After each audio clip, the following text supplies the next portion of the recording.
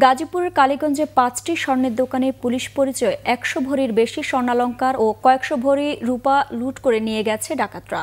সোমবার রাতে উলুখোলা পুলিশ ফাঁড়ির মাত্র দুইশো গাছ দূরের উলুখোলা বাজারে এ ঘটনা ঘটে। তিন ঘণ্টা ধরে Sonali jewellers, Rajiv jewellers, Shilpi jewellers এবং সন্দীপ জুয়েলার্সে লুট করে ডাকাতরা। দোকান মালিকরা জানান, রাত এগারোটার দিকে পুলিশের পোশাক পরা ত্রিশ থেকে চল্লিশ জনের ডাকাত দল উলুখোলা বাজারে ঢোকে। বাজারে ঢুকেই তারা সাত পাহারাদারকে একটি কাপড়ের দোকানে নিয়ে আটকে রাখে। এরপর একে একে পাঁচটি জুয়েলারি লুট করে। এ ঘটনার পর সকাল আটটা পর্যন্ত কোনো পুলিশই ঘটনাস্থলে যায়নি বলে দোকান মালিকদের অভিযোগ। পরে ঘটনাস্থল পরিদর্শন করে এটিকে দুর্ধর্ষ ডাকাত দলের কাজ বলে জানায় পুলিশ।